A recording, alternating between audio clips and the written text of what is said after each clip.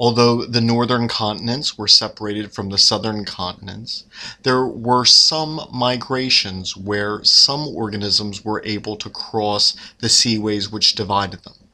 Somewhere between the late Cretaceous and early Paleocene, a number of placental mammals traveled from the northern continents and reached Africa, and from Africa a number would then go to South America, such as the rodents related to capybaras and primates, which would be the ancestors of the New World primates.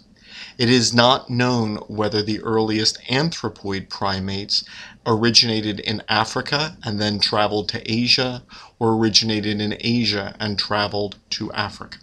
During the late Cretaceous, the South Atlantic Ocean separated South America and Africa.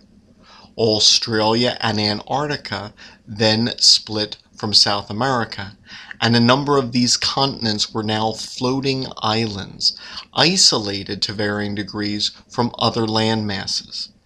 Thus, we see that many of the groups of organisms found on these continents during the time from the late Cretaceous through the Miocene and Pliocene would be endemic to certain continents found only in South America or found only in Africa because of the isolation of these continents. India was joined to Asia about 25 million years ago. The Middle East joined Africa to Asia about 20 million years ago, and South America joined North America about 4 million years ago. This ended this period of isolation, and species were able to migrate between the continents in a way that they were unable during the early part of the Cenozoic era.